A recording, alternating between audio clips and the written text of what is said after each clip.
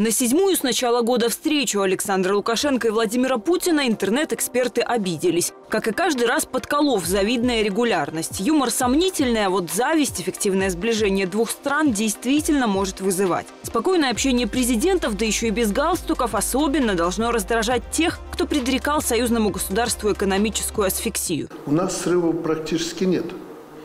И э, развитие нашей экономики и вообще существования наших государств изменились резко даже за три месяца последних. Ну, нам предсказывали крах, э, гибель и так далее. Жизнь многообразна.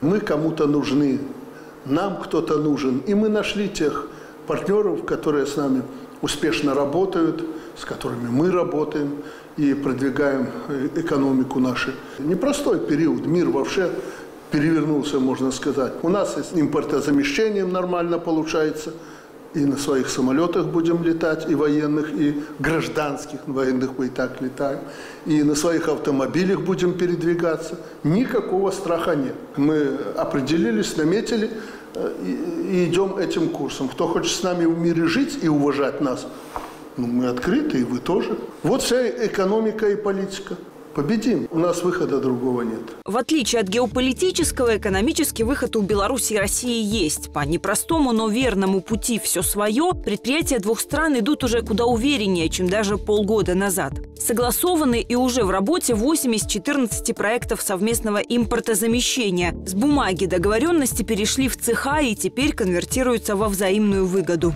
Могилев химволокно ведет переговоры с Татарстаном по переработке химического сырья. БелАЗ поставит в Россию в этом году рекордное количество техники – 900 машин. Создан на 90% белорусско-российский гибридный карьерный самосвал. Российский КАМАЗ будет оснащен экранами, произведенными на белорусском горизонте.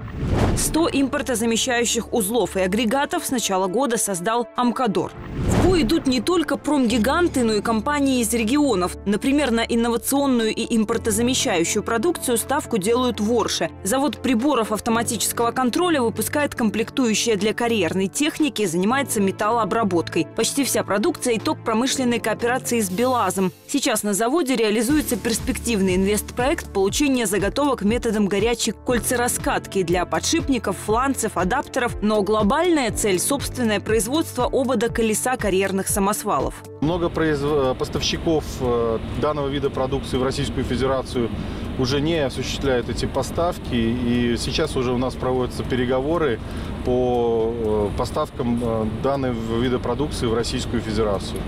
Э, плюс э, под наше действующее производство данная продукция нам также весьма необходима. Инвестпроекты фактически это высшее доверие нашим производителям. Экономисты объясняют логику. Россия уверена, что деньги, вложенные в белорусское производство, через время принесут выгоды больше, чем если бы они лежали в банке. Белорусы трудоспособные, достигают своей цели и меньше коррупции. С другой стороны, мы находимся в едином союзном государстве.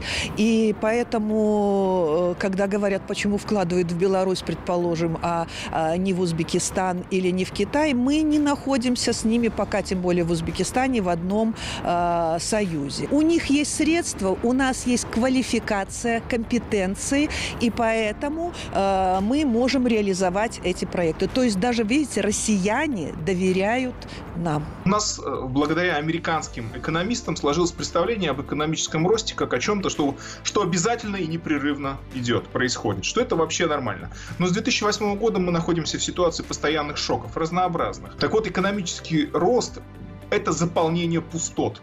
Вот у нас чего-то нет. У нас нет, например, достаточного количества подшипников. У нас нет э, достаточного количества каких-то моторов. Да, это проблема. Но это проблема, которая открывает новые возможности. Следовательно, нам нужны эффективные масштабные структуры для конкуренции.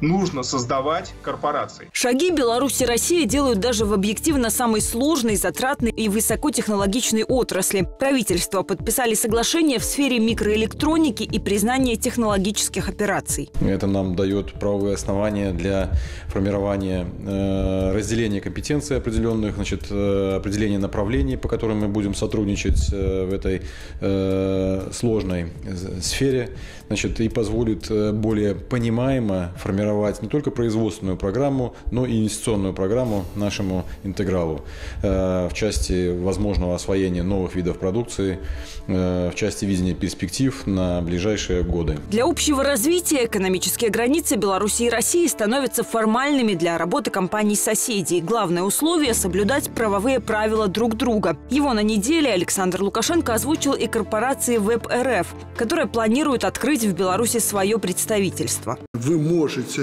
участвовать в реализации намеченных нами проектов, в том числе по импортозамещению. Мы окончательно договорились по этим вопросам в том числе и поставкам финансирования. Об этом, если есть желание, мы поговорим.